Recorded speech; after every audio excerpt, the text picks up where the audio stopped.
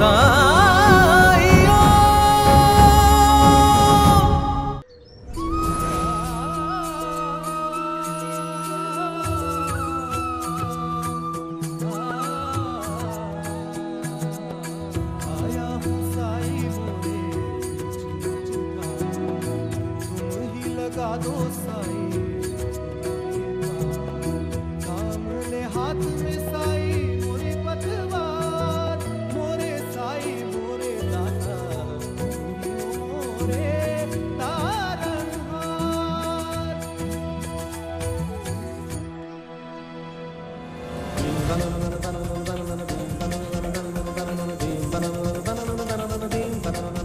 सौ तोला सोना तो आजकल कोई भी दे देता है अपनी बेटी की शादी के लिए।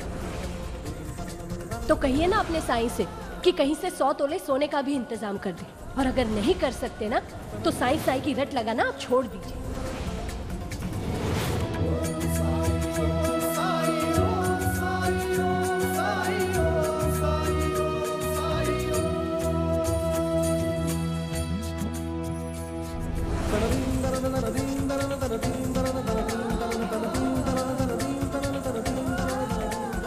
चाहे कुछ भी हो जाए। लेकिन कुलकर्णी सरकार से सौ तोला सोना लेकर ही वापस आइएगा।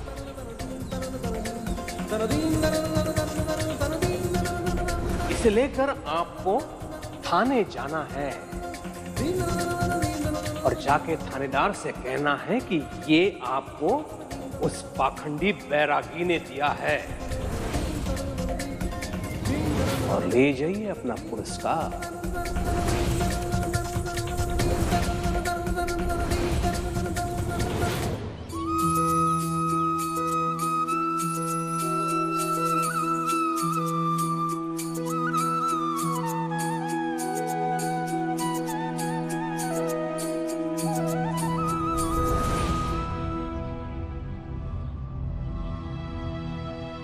बहुत जल्दी में है। नहीं तो? संभाल कर संभाल कर। बहुत कीमती चीज़ है।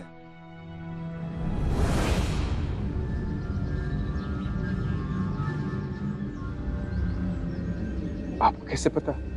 ये कीमती है? आपने अपने सीने से जो लगा रखा है। क्षमा कीजिए एक ज़रूरी काम है मुझे।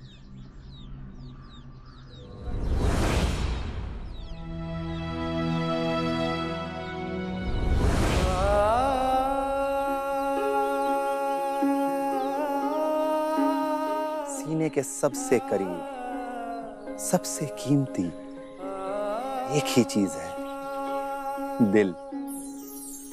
बस उसे संभाल कर रखो तो संभालना अपने आप आ जाता है।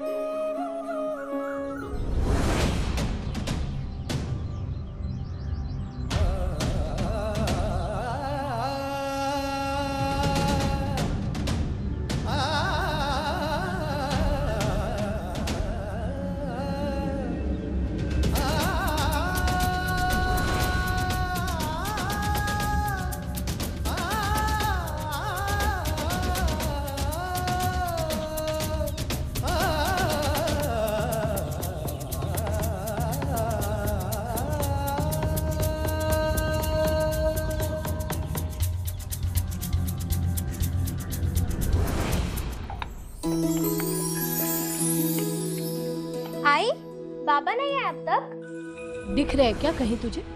और अपना घर इतना भी बड़ा नहीं कि तेरे बाबा यहाँ खो जाए। किसी काम से बाहर गए हैं। अभी आते ही होंगे। रसोई में सब्ज़ी चढ़ाई। जा देख, हो गई हो तो उतार लेना। जा। जी, आई।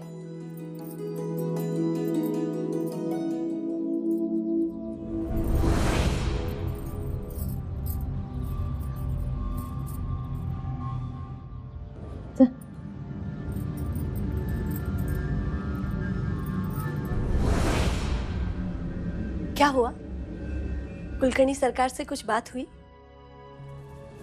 आप कुछ बोलेंगे भी? क्या हुआ है?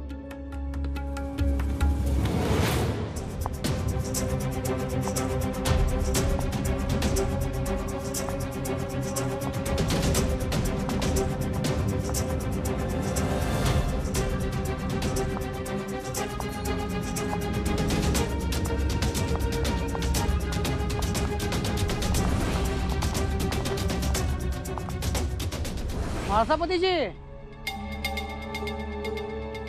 कुछ लोग आ रहे हैं आपके घर पे?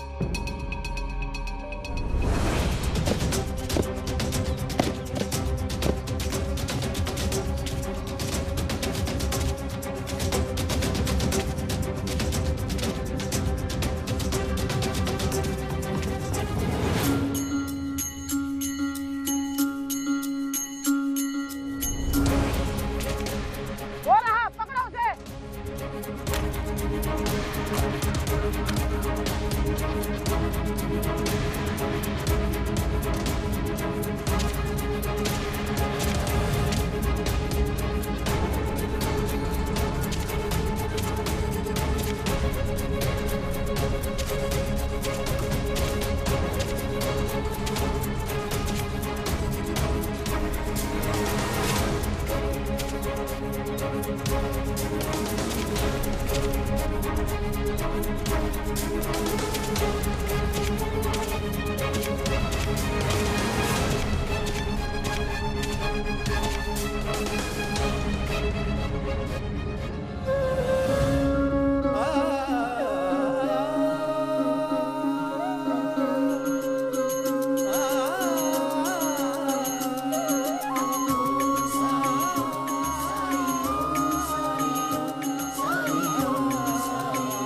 फल से कोई भी मुक्त नहीं।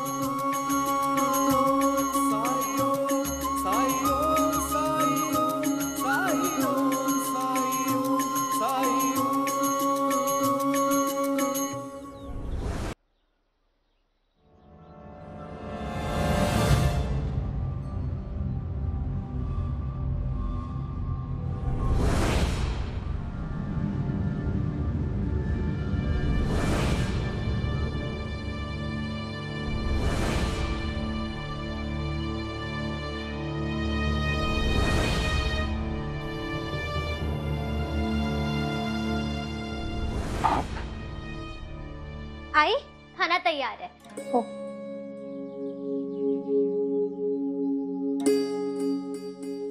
नमस्ते। नमस्ते। काका कहाँ चले गए थे आप? वो भी हमसे बिना मिले। आपको मेरे हाथ की भाकरी अच्छी नहीं लगी क्या? यही है यमुना बेटी। अरे आप बाहर क्यों खड़े हैं? अंदर आइए ना। आइए। हाँ आइए। आइए। विराजी।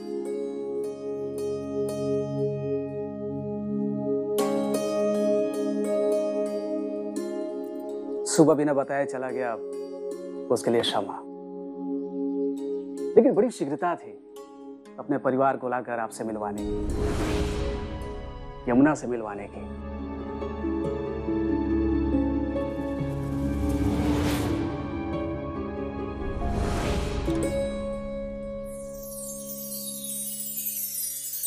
ऊपर वाले के तरीके निराले हैं मालसा पति रात को ही सोच रहा था कि मैं रास्ता भटक गया।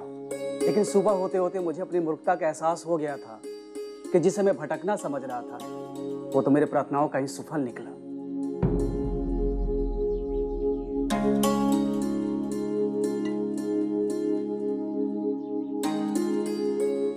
ये हमारा बेटा है।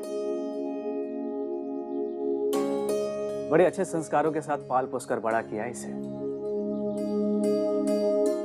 ईश्वर से रोज प्रार्थना करता था कि हे प्रभु, इसके विवाह के लिए सुंदर और सुशील कन्या मिल जाए। जो संस्कार और बूढ़ों की धनी हो। यमुना से मिलकर मुझे विश्वास हो गया इससे अच्छी लड़की मेरे बेटे के लिए हो ही नहीं सकते।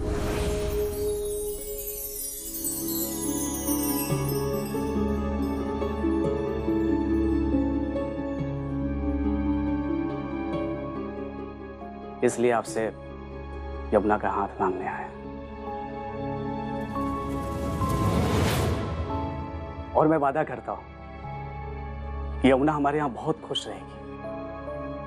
धन्यवाद पर वो हम दहेज कोई दहेज वेज नहीं चाहिए। कुछ नहीं चाहिए।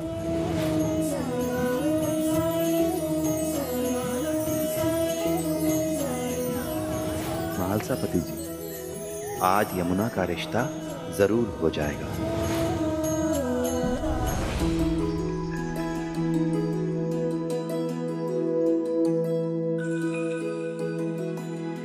केवल इस प्रस्ताव को स्वीकार कर आप हम पर उपकार कर दीजिए।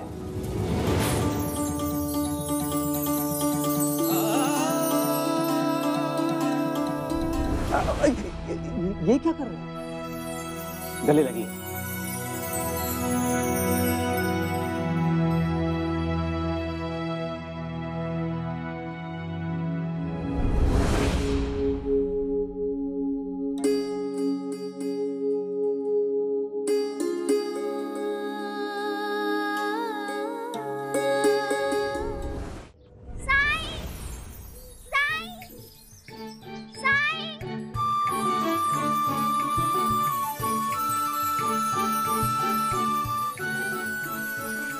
कितने प्यार से सो रहे हैं। पर ये धूप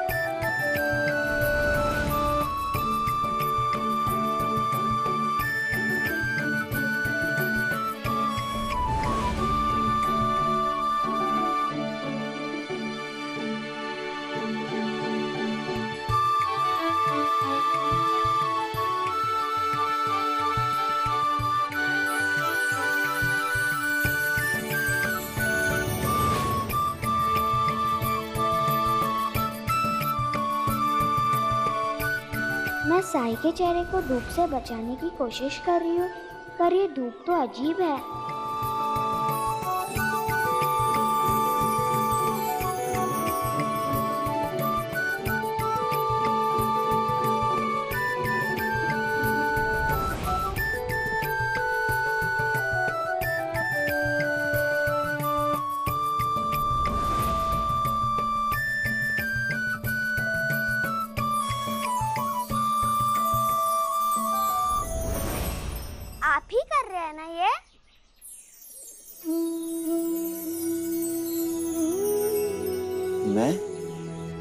मैं तो यहाँ सो रहा हूँ।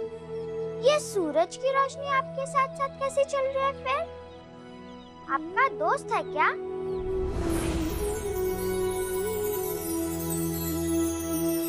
सूरज मेरा ही नहीं। सूरज तो सबका दोस्त है।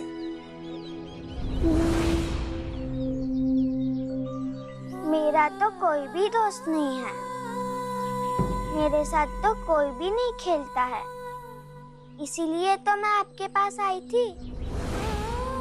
लेकिन आप तो आराम कर रहे हैं तो मैं चलती हूँ। लक्ष्मी।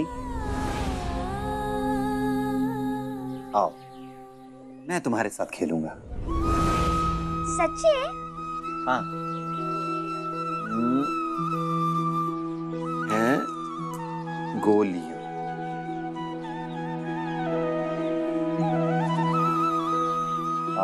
अब जरा गिन के बताओ कितनी है? एक दो तीन हम्म, पाँच। तीन के बाद सीधे पाँच? तो फिर चार कहाँ गया? चार। हम्म, पाँच। छ हम्म,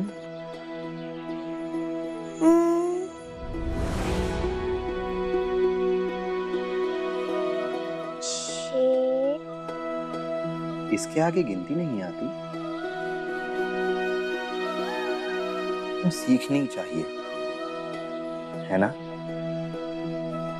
पढ़ाई करनी चाहिए। क्योंकि शिक्षा सबसे बड़ी ताकत है।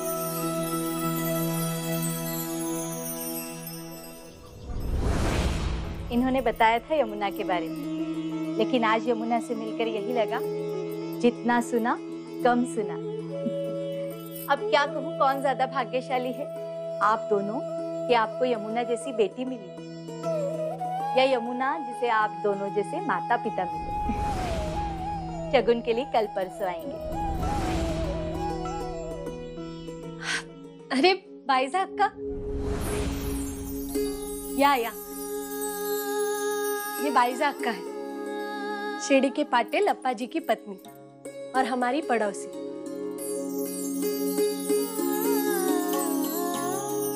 ये समझिए कि हमारा एक ही परिवार है। मुझे खबर मिली तो मुझसे तो रहा ही नहीं गया। इसीलिए मीठा लेकर चली आई। सबसे पहले तो आप सबको बहुत बहुत बधाई हो। बहुत खुशी का दिन है आज। और जब आए हैं तो शगुन करके ही जाइए। शुभ काम में देर क्यों? अब शगुन के लिए रुके तो घर लौटने में देर हो जाएगी। अरे तो आपको लौटने के लिए कौन कह रहा है? यहीं रुक जाइए। बेटे के ससुराल में? शिरडी आपके बेटे के ससुराल के अलावा भी बहुत बड़ा है और इनके पड़ोसी अच्छे लोग हैं। आपको कोई असुविधा नहीं होगी उनके वहाँ। देखिए मना मत कीजिएगा।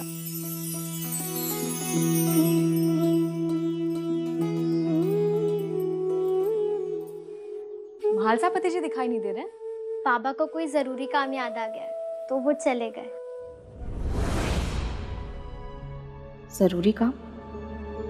बेटी के रिश्ते की बात को छोड़कर चले गए? ऐसा क्या ज़रूरी काम हो सकता है?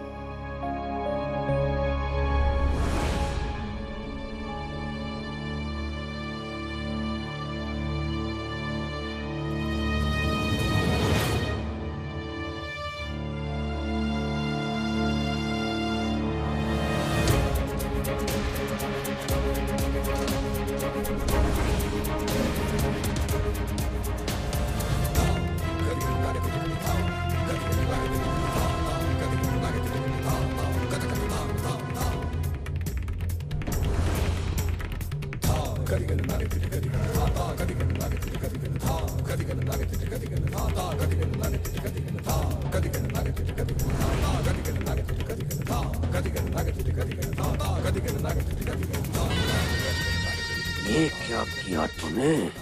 मेरी विवशता और आपका दबाव। एक पल के लिए काफ़ी हावी हो गया था मुझ पर सरकार। सालों से मेरे पेट में तकलीफ़ थी, लेकिन कुलकर्णी सरकार समय ही नहीं दे पा रहे थे। नहीं जाँच हो पाई, ना दवा मिली। लेकिन साई, उनकी दवा लेने से मैं फिर से ठीक हो गई। ये सुना है, कोई उस्मान आए थे दूर गाँव से। उनके बेटे के कान में दर्द था, लेकिन साई ने उसे भी ठीक कर दिया। सबसे बड़ी बात कि साई को कोई तकलीफ़ बतानी नहीं पड़ती, वो सब कुछ जान जाते थे। जैसे कि कोई अंतर्यामी हो। और किसी में भेदभाव भी नहीं करते। हम गरीबों के लिए तो वैसे वो भगवान का रूप ही है। वो दो औरतें तो बस एक छोटा सा उदाहरण थी।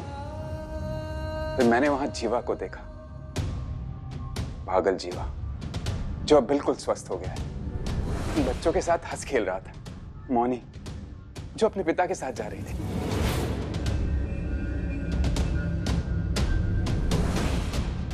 आपने ठीक कहा, सरकार। शिरडी के उद्धार, शिरडी की रक्षा करने का संकल्प करने वालों में मैं हूँ। आपने बिल्कुल सत्य कहा कि मुझे इस शिरडी से बहुत प्रेम है। और इसीलिए इसीलिए मैं इस पोटली को पुलिस चौकी में नहीं दे पाया। क्योंकि तो सच तो यह है कि साई ही शिरडी का भविष्य सुधार सकेंगे।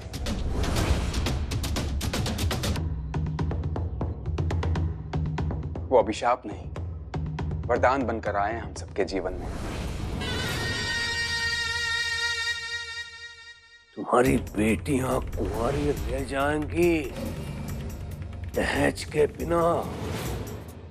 जब मैंने ये निर्णय लिया कि मैं साईं के विरुद्ध कोई झूठा कार्य नहीं करूँगा, तब मुझे भी डर लगा कि मेरी बेटी कुंवारी रह जाएगी। लेकिन फिर मैंने ये सोचा कि भले ही वो आजीवन कुंवारी रह जाए, लेकिन मैं उसके दहेज के लिए इस पूरे शिरडी का सौदा नहीं कर सकता। मैं आपसे पूछना चाहता हूँ, कुलकर्णी सरकार। दहेज देना कौन से पुण्य का कार्य है? असली अभिशाप तो यह है, जिसके दोषी हम माता पिता हैं। क्यों हम इतनी जल्दबाजी में रहते हैं अपनी बेटियों को विदा करने में? क्यों हम डरते हैं कि उसे कोई दूसरा अच्छा लड़का नहीं मिलेगा क्यों हम डरते हैं कि वो आजीवन कुमारी रह जाएगी? अगर शिरडी का उद्धार चाहिए, इस समाज का उद्धार चाहिए तो सबसे पहले ऐसी कुप्रथा पर रोक लगनी चाहिए। नहीं तो बेटियों के माता पिता अपने जमीर को बेचने में विवश होते रहे। और बड़े बड़े साहूकारों के आगे कर्ज में डूबते रहेंगे। मैं खुश हूँ कि खंडोबा जी जो मेरी परीक्षा ले रहे थे, उस परीक्षा में मैं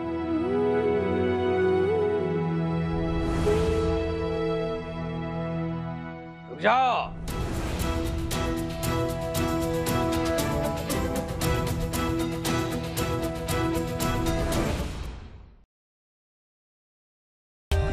For more updates, subscribe to our channel, click the show links and enjoy watching the videos.